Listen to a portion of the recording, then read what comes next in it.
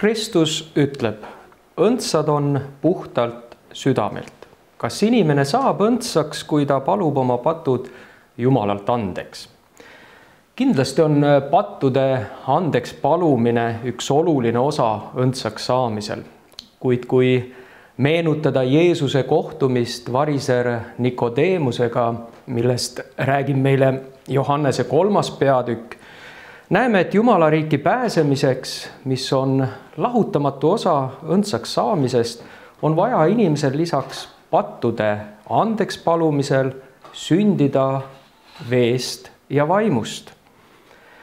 vaimu all mõeldakse üldiselt üksmeelselt püha vaimu, kuid vee tähenduse üle on arutletud, et mida Jeesus sellega silmas pidas kui Nikodeemus küsis uuesti sünni kohta, kuidas see võib juhtuda, vastas Jeesus järgnevalt.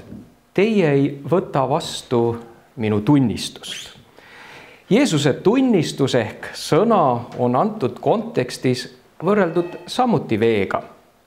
tema tunnistuse vastuvõtmine puhastab vee kombel patuse inimese sisemaailma ja püha vaim saab asuda inimese südamesse elama.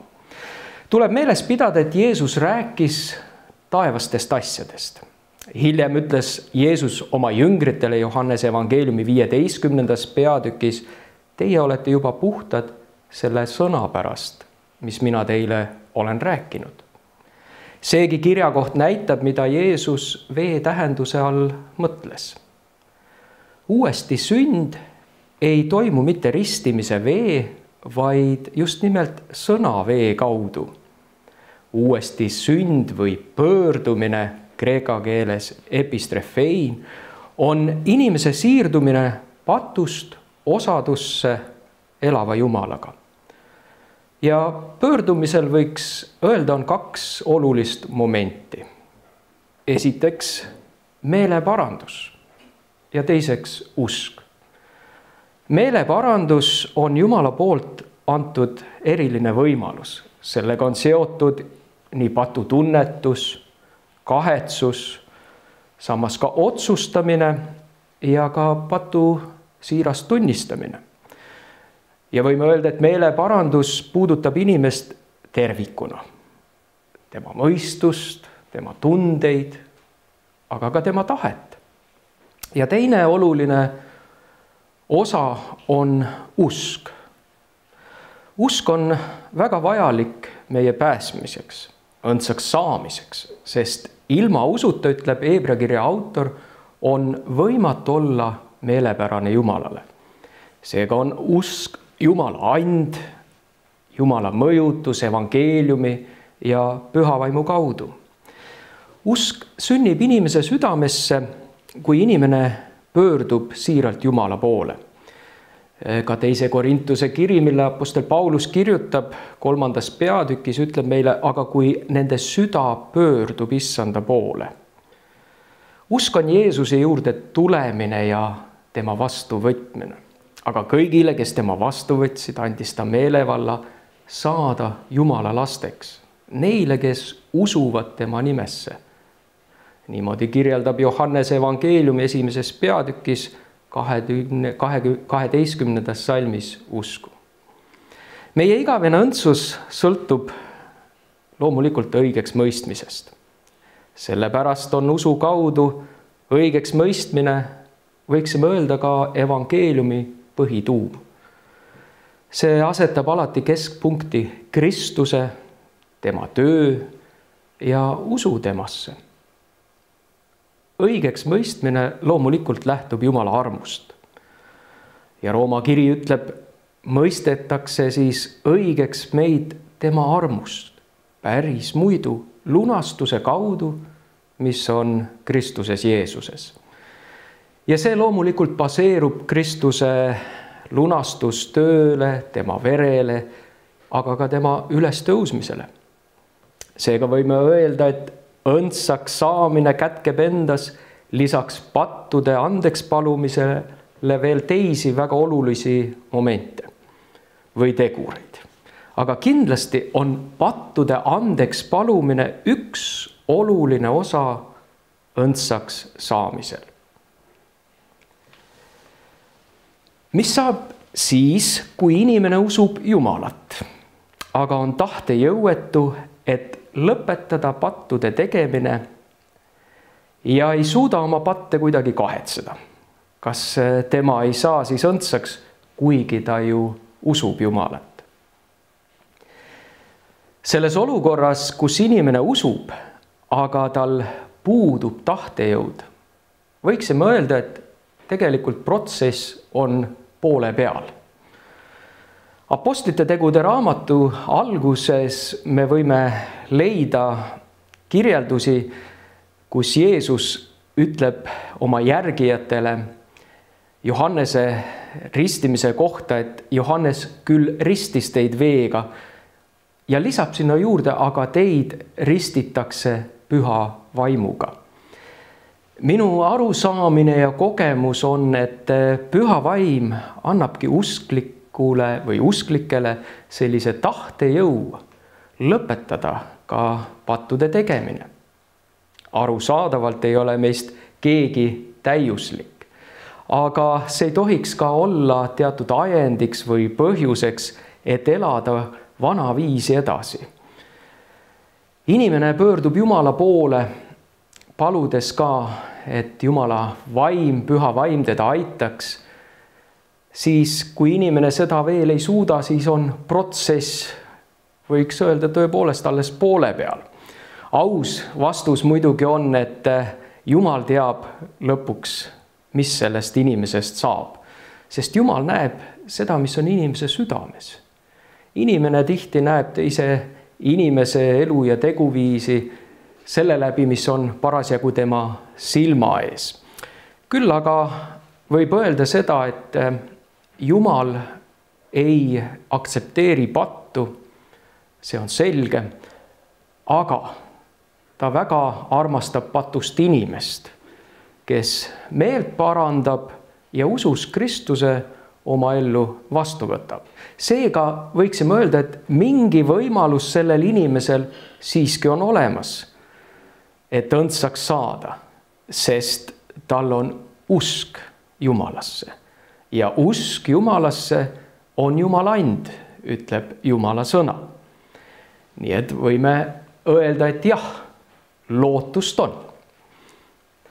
mis saab aga siis, kui inimene armastab kõiki planeet Maa inimesi, aga on samuti tahtejõuetu, et lõpetada pattude tegemine ja ei suuda oma patte kahetseda. kas tema ei saa siis õndsaks, sest ta ju armastab teisi inimesi? esiteks on vähe tõenäoline, et üks inimene armastab kõiki planeet Maa inimesi.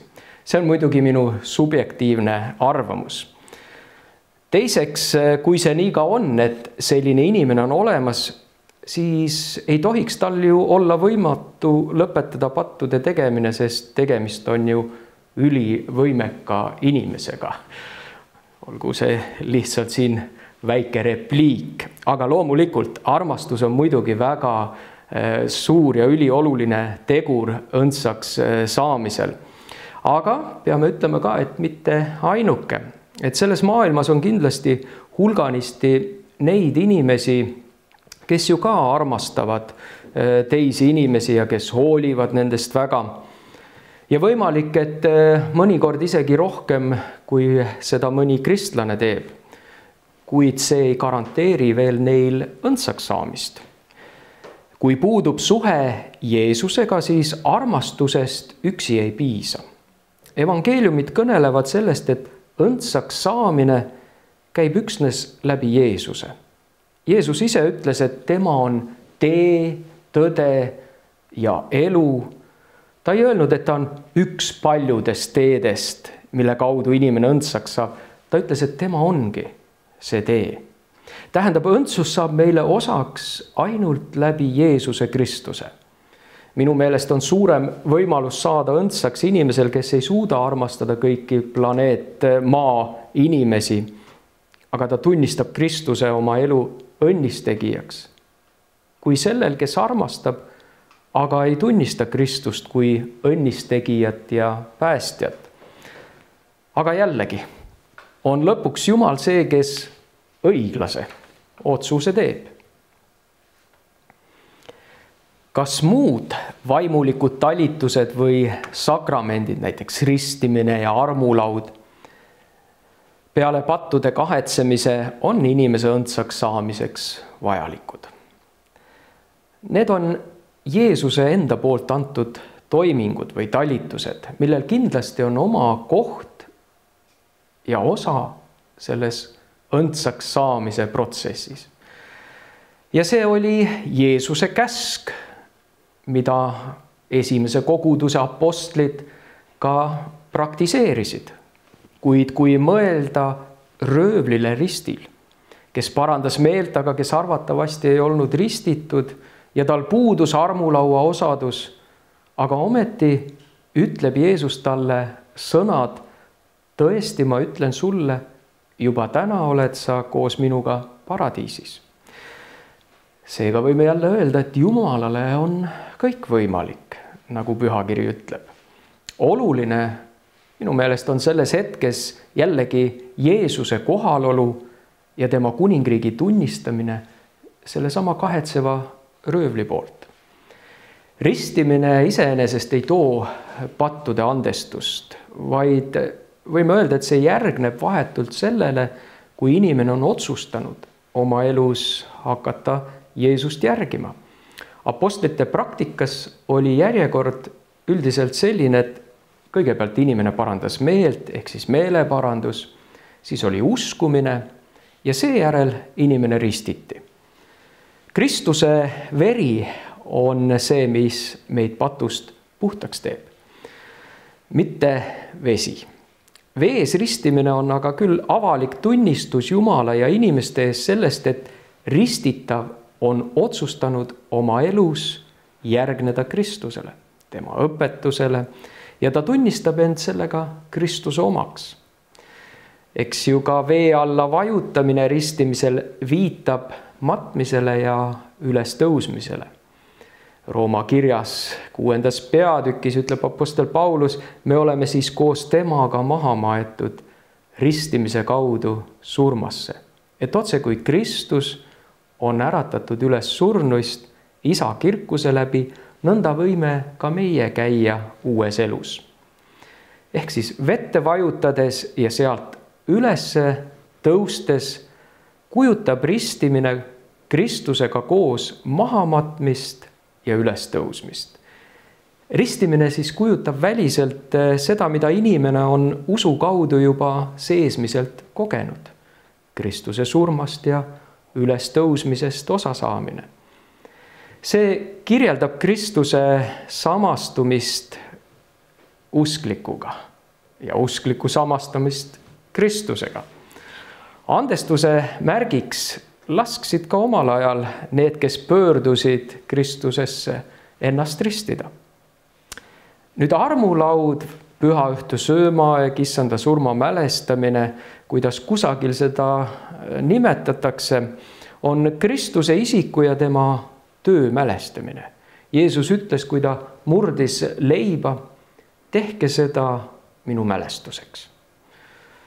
Ja igaühel, kes usub Kristuse ohvrisse ja tema lepitus veresse kinnitab püha õhtusöömaaeg andestust. ta on andeks saanud. ja samuti püha õhtusöömaaeg on uue lepingu nähtav meeldetuletus ja kinnitus, sest ütleb ka Jeesus karikat jagades, see karikas on uus leping minu veres, mis teie eest valatakse. seega ristimisel ristitakse usklik Kristuse surmasse ja püha õhtusööma ajal kuulutab ta seda surma. ja see on oluline ja vajalik usklikule endale. seega võib öelda, et jah, nendel toimingutel on sisuline tähendus täiesti olemas. kas väljaspool kirikut on pääsemist? kas Vana-testamendi patriarhidel, ristimata lastel ja Okeaania pärismaalastel on ka lootust pärast surma Jumala juurde jõuda. piiblist ma leian käsitluse, et väljaspool Kristust ei ole pääsemist.